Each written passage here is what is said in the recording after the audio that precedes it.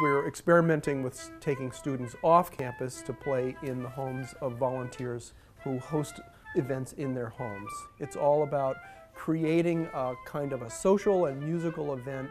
It's really, really fun. It's just relaxed. It just feels different, even if it's the same music that you might play. It's in a in a traditional concert, it's just so much more relaxed and personal. And you feel like you connect with the audience on a higher level, I think. We can see how our music affects different kinds of people.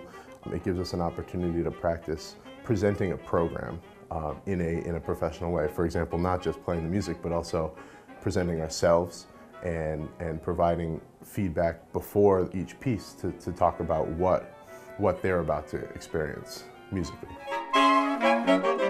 You can look at it from so, so many different ways, as a student, also as a professional, uh, as an outreach performance, as well as a community building exercise, but also the performing experience as a professional musician.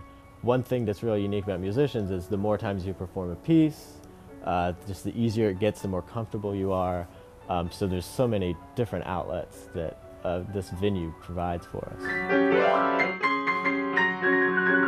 Guests can come to a host's home, relax, and enjoy a great musical performance. And we know it's great because the, because the studio teachers and chamber coaches have already pre-selected exceptional performers.